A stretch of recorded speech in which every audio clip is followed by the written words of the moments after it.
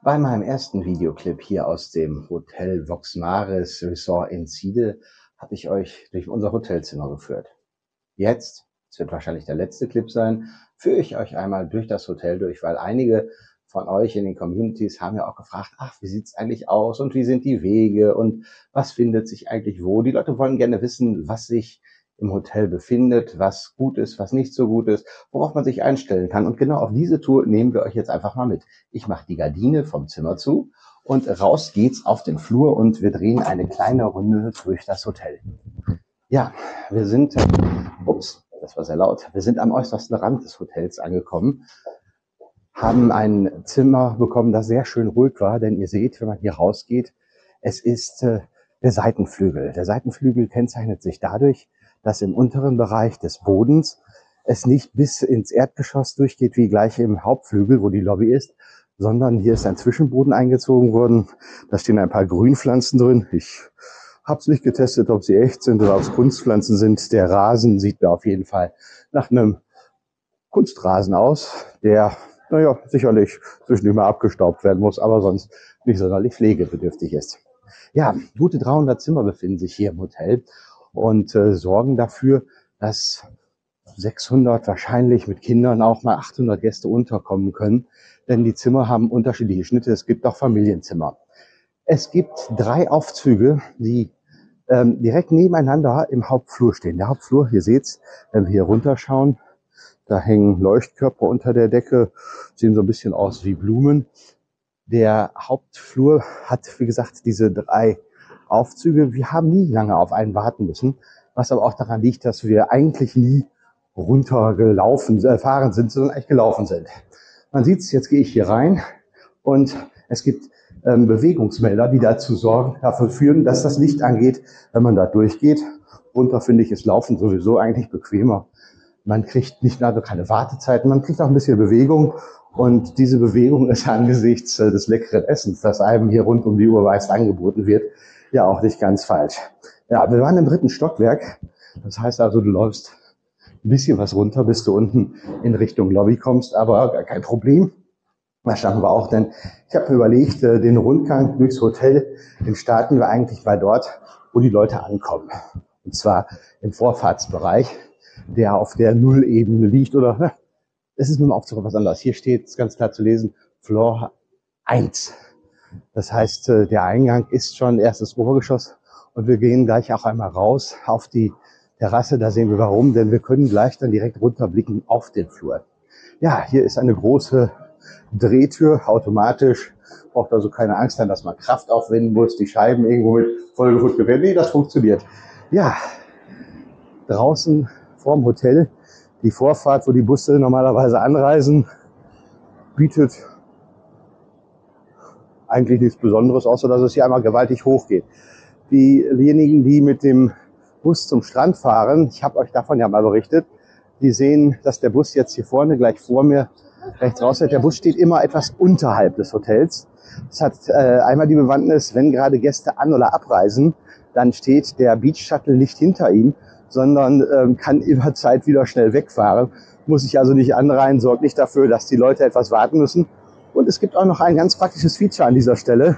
Sie haben hier am Ein- und Ausstieg des Shuttle Services Wasserschläuche hingepackt, ein Wasserkran daran. Das heißt, hier unten kann ich mir die Füße abwaschen, bevor ich damit in die Hotelanlage reingehe. Darum wird auch explizit auf einem Schild gebeten, denn äh, die Leute sollen natürlich nicht den ganzen Sand, den Dreck vom Strand mit hineinbringen. Ja, das Hotel baut ganz hoch auf. Ich finde, abends ist es schön, wenn es beleuchtet ist, wenn zwischen den einzelnen Balkonelementen auch äh, mal die Leuchtstrahler angehen. Das hat was. Hier vorne ist auch gerade ein bisschen laut. Da ist ein Teil der Wärmepumpen. Ein anderer Teil ist auf der gegenüberliegenden Seite des Hotelgebäudes, wo momentan eine Parkplatzfläche daneben ist. Keine Ahnung, was das in Zukunft wird. Ob da vielleicht noch ein weiteres Hotel entsteht. Vielleicht können dort ja auch Shopping- oder Restaurationsmöglichkeiten geschaffen werden. Da hat die Fantasie ja keine Grenzen. Und äh, Fantasie ist gewiss etwas, was hier in der Türkei bei Leuten groß geschrieben wird. Denn wenn irgendwo mit Geschäfte gemacht werden können, so versucht man es. Ja, wenn man reinkommt, direkt auf der linken Seite in der Lobby ist ein Bereich, wo derzeit in den Abendstunden permanent der Fernseher läuft. Der Fernseher aus dem Grunde, weil äh, dort werden Fußballspiele übertragen. die bei den Zuschauern auf großes Interesse stoßen. Ich finde ein sehr gemütliches Ambiente, wenn man hier reinkommt. Der Fernseher, jetzt läuft er natürlich nicht, weil nichts läuft. Äh, ist aber auch so ein kleiner Versammlungsort. Hier weiter im Raum kann man schauen, die Gentle Bar. Dort gibt's ab morgens 10 Uhr Getränke. Es gibt leckere Cocktails.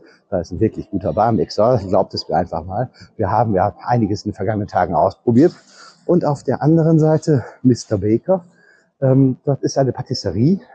Und es gibt dort nicht nur leckere Küchlein, man kann auch Sandwiches mitnehmen, beispielsweise für den Rückflug, wenn es äh, zur Zeit, wo man kein Abendessen kriegt, mehr runtergeht. Und äh, der Eiskaffee oder auch der Kakao mit Eis, der hier gemacht wird, ist wirklich fantastisch. Kleiner Snack zwischendurch, immer wieder nett. Ja, die Ebene A1 habe ich gerade schon gesagt, wird dadurch deutlich, dass wenn man herausgeht aus der Schiebetür, die öffnet, kommt nicht nur ein schönes Lüftchen einem entgegen, plötzlich wird es warm. Nein, man hat auch den Blick über eine ganz nette Poolterrasse, die im oberen Bereich des Pools angesiedelt ist. Unter uns ist die Gastronomie. Das Schiebedach ist hier gerade noch zu. Und äh, das ist der erste Eindruck, den du bekommst, wenn du hier reinschaust. Du guckst auf den Pool, guckst auf die Poolbar, siehst die obere Poolterrasse im hinteren Bereich, die Rutschenanlagen. Die Dächer hier unten vom, äh, von der Terrasse können noch eingefahren werden. Und zwar findet das abends immer statt, wenn die Sonne untergegangen ist. Das heißt, wenn der Sonnenschutz nicht mehr benötigt wird, wird es zurückgefahren, die Stauwärme geht raus, es ist angenehm dort zu sitzen. Ähm, es könnte auch, wenn es äh, noch erforderlich ist, die Beleuchtung darunter funktionieren, denn das ist ähnlich wie hier. Hier seht ihr auch oben unter der Decke, es sind äh, verschiedene LEDs in den Faltelementen drin, die, wenn das Dach zusammengefaltet ist, natürlich nicht zur Verfügung stehen.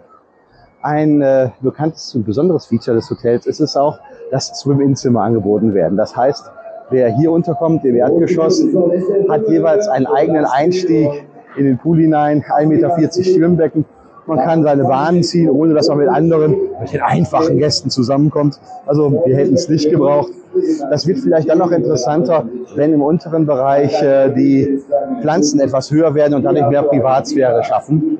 Vormittags scheint die Sonne darauf, nachmittags, ja, da ist die Sonne weg. Da muss man dann halt, wenn man noch ein wenig Sonne haben will, an den Pool gehen, muss äh, auf die andere Seite wechseln oder was natürlich auch immer hochattraktiv ist, an den Strand ziehen. Ja, gut. Zurück geht es also wieder in die Lobby rein.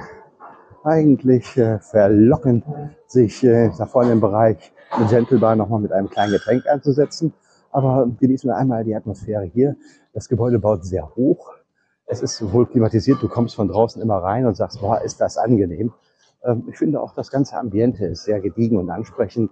Es hat eine Modernität, aber es ist nicht kalt oder irgendwie sowas. Aber es ist gemütlich, das auch durch die Farben abgesickt. Direkt im Eingangsbereich, hallo, da kommt die Gästebetreuung uns entgegen. Direkt im Eingangsbereich findet ihr auch den Luggage Room. Das ist der Raum, wo ihr eure Koffer abstellen könnt, äh, bevor ihr abreist. Und direkt gegenüber, äh, How may I help you, sitzt die Guest Relation und hilft bei offenen Fragen, wenn du Anregungen hast, wenn irgendwas zu tun ist. Ja, weiter geht's jetzt mal für uns runter von der, vom Floor 1. Der Bewegungsmelder müsste uns sofort wieder erfassen und das Licht einschalten. Na, wo bleibt er? Hier ist er. Genau. Wir kommen auf die Ebene 0. Das ist die Poolebene. Und äh, hier auf der Ebene stellen wir gerade auf den Friseur und auf den Optiker zu. Aber das interessiert uns jetzt noch nicht. Wir gehen nochmal eine Ebene weiter runter. Auch hier geht das Licht direkt an. Denn wir gehen einmal in Richtung Spa-Bereich. Spa-Bereich äh, ist hier eine Geschichte, die zwar mit vielen Freiwilligen äh, Zusatzleistung verbunden ist, aber in der auch einiges inklusiv ist, was man mitbuchen kann. Hier unten kann man sich umziehen, wenn es nach Hause geht. Hallo, guten Heimflug. Kommt gut heim. Tschüss. Es gibt hier den Ärztebereich. Da sitzt immer eine Fachkraft, die man ansprechen kann. Und wenn man hier weiter runter geht, Tagungsräume, denn äh, das Hotel kann auch professionell genutzt werden. Ganz ehrlich, äh, die Voxy Disco, ähm, da waren wir noch nicht drin. Wenn es nachts noch um zwei Uhr über 30 Grad sind, dann hast du einfach keine Lust, in einen Keller reinzugehen und dort weiter zu feiern. Draußen am Pool wird die Musik natürlich leise, ähm, dass die Gäste, die die Zimmer in diesem Raum haben, äh, still, Stille genießen können, schweigen können, schlafen können. Aber es ist ganz nett. Hier unten, wie gesagt, hier sind die Tagungsräume und äh, die werden auch regelmäßig genutzt. Jetzt erleben wir einmal einen kleinen Blick hinein. Da werden Mitarbeiter wahrscheinlich gerade geschult. Im weiteren Bereich hinten sind noch Toiletten. Wir gehen aber einfach mal hier am Buffet, das für die Mitarbeiter bereitgestellt worden ist, Kaffeemaschine dabei. Auf der linken Seite hier noch die Meeting Hall, ein größerer Tagungsraum. Ich glaube, bis zu 300 Personen oder so habe ich irgendwo gelesen, können dort bei Bedarf Platz finden für irgendwelche Events. Man kann also eine Hochzeit oder so feiern. Ja, auf jeden Fall, es geht rein in den Spa-Bereich.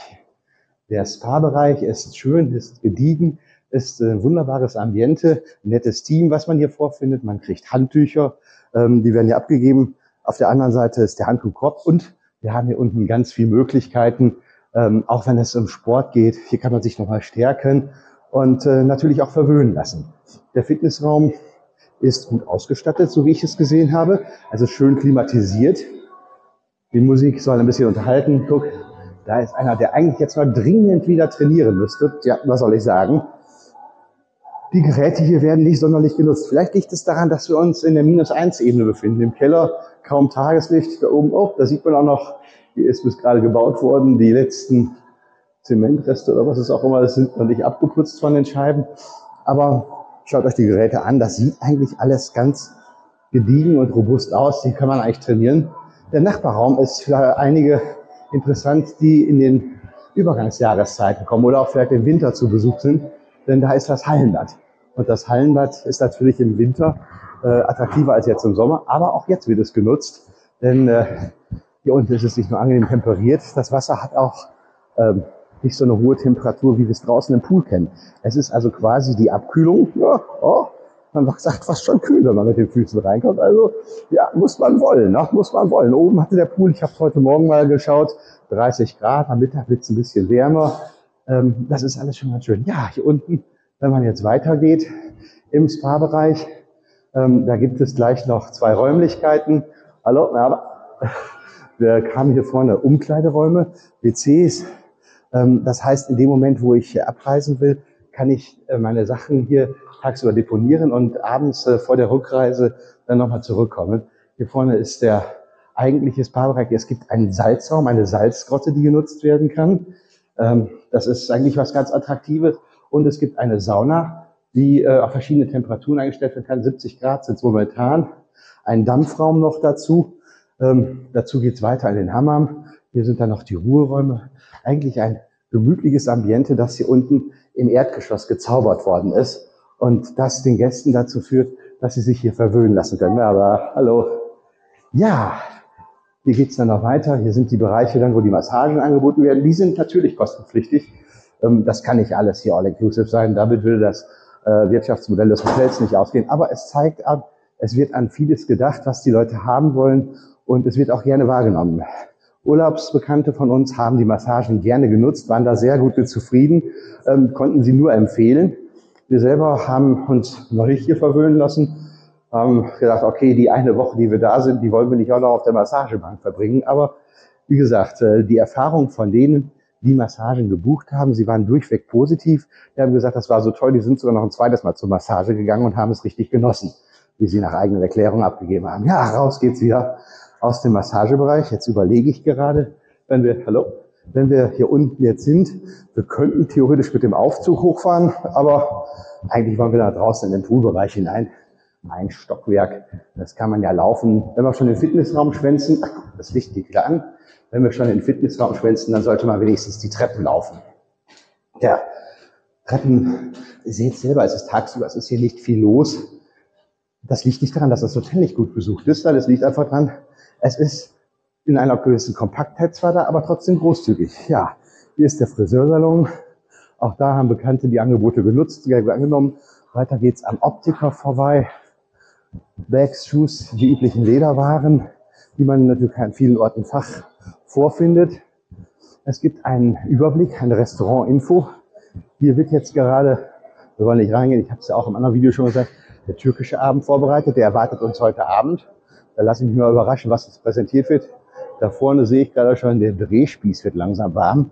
Also auch das, was man, oder zumindest unser Bundespräsident die Türkei mitnimmt, wenn man Deutsches und Türkisches zusammenführen will. Ja, Theme of the Day, da steht es auch Turkish Night. Lassen uns mal überraschen, was dort geboten wird. Am Entertainment Infoboard steht angeschlagen, was an den Tagen über wo stattfindet. Es gibt immer viele Angebote. Also äh, morgens, ob das dann irgendwie Darts ist, wird es Beachvolleyball am Strand ist, Aquagymnastik, äh, Clubtanz, der mittags gemacht wird, ganz viele verschiedene Sachen bis in die Nachmittagsstunden hinein. Wer sich langweilen will, hat natürlich auch die Gelegenheit dazu. Das Entertainment-Team stellt sich hier vor. Die meisten werden wir auch gleich nochmal draußen sehen, wenn wir durchgehen. Weiter geht's am Photoshop. Da kann man sich fotografieren lassen. Die Fotos, die gezeigt werden, sehen wirklich gut aus. Zu den Preisen kann ich leider nicht sagen. Ist für uns nicht so interessant. Ich habe bedarfsfall selber ein Fotoapparat dabei. Hier gibt's dann noch den kleinen Shop, was gerade, sag ich mal, für die Kiddies ganz interessant sein könnte. Oder auch wenn bestimmte Süßigkeiten gebraucht werden. Ja, wir kommen raus. Hier ist jetzt die Musik an, ein bisschen im Hintergrund. Ich hoffe mal, sie stört nicht zu sehr. Aber ich habe das externe Mikro dabei. Hier sind wir beim Überlaufpool von den Schwimmabzimmern nochmal. Da schwimmt jetzt gerade keiner. Im Hintergrund bei auf der Terrasse sitzen ein paar Gäste. Ja, und hier vorne wird jetzt gerade schon für heute Abend alles eingedeckt. Die Tischdecken sind rot. Vorige Tage beim mexikanischen Abend war alles damit grün, weiß und rot daliert. Es gibt dann halt die verschiedenen Designs, die gewählt werden für verschiedene Veranstaltungen. Ja, wir gehen jetzt mal hoch äh, im Bereich der oberen Terrasse. Hier ist eigentlich alles schon, obwohl es noch ganz frisch ist, schon ganz nett eingewachsen. Die Wässerungsanlagen laufen täglich. Abends im Dunkeln, wie vielleicht auch Fotos schon gesehen habt, oder bei früheren Videos ist es ja auch alles ganz nett ähm, mit Lichtern illuminiert. Also ein Ambiente, das sich ganz schick eigentlich macht. Ja, hier guckt man nochmal durch auf die Schwimmabzimmer an der Seite, wo auch nachmittags noch die Sonne scheint. Ist vielleicht die schönere Lösung für all diejenigen, die unbedingt ein Schwimmabzimmer haben wollen, aber sagen, ach, wenn nur vormittags die Sonne drauf scheint, ist es ja für mich nicht das Richtige. Ja, weiter geht es. Hier ist Patisserie Teil 2. Hier besteht die Möglichkeit, sich nicht nur Waffeln machen zu lassen. Es gibt kleine Snacks, sondern es gibt auch die Möglichkeit, ein leckeres Eis zu essen. Es wird freudig gewunken. Eine Empfehlung ist die Waffel mit Vanilleeis, dazu eine bisschen leckere Schokosoße, Puderzucker, ein paar Raspeln drauf. Also man kann hier leckere Sachen machen. Weiter kann man hier schauen, äh, die Pizzeria. Hier werden die Pizzen jeweils für euch frisch gebacken. Und da wird auch wieder freundlich begrüßt, natürlich, so wie es sein muss. Ähm, noch eine Nummer weiter, das Chicken House. Der Drehspieß ist mittlerweile leer. Der ist heute offensichtlich sehr gut angenommen worden. Es gibt verschiedene, verschiedene Leckereien mit Hähnchenbasis. Da findet auch jeder was. Und Fast Food schließlich ist das letzte. Da seht ihr im hinteren Bereich noch, da sind ein paar Burger vorbereitet worden. Die Pommes werden bei Bedarf zubereitet. Und die Karte, ja, ich blende sie mal einmal ein, zeigt das Angebot, da saß eine Fliege drauf. Also da sind Kleinigkeiten, 22 Gerichte vom Salat über Pasta bis zu Pizza und Burger, da findet jeder eigentlich was. Und wer was ganz Leckeres haben will, der findet natürlich auch Gerber. Findet hier draußen natürlich auch noch was frisch gebackenes in verschiedenen Variationen. Da wird gerade eingepackt, das ist schön. Danke, ne? Ja, wir sind also soweit. Hier kann man direkt was essen. Hier habt ihr nochmal einen Überblick von den Swim-Up-Zimmern. Ich finde hier eigentlich eine ganz schöne Geschichte. Man kann da sich reinsetzen, hat ein bisschen die Sonne, aber wenn man ins Wasser reingehen will, hat man seinen eigenen Pool direkt davor, vorm Balkon quasi. Eine nette Geschichte. Ja, wir gehen weiter. Und zwar jenseits äh, des Snackstops geht es die Treppen raus zum oberen Poolbereich.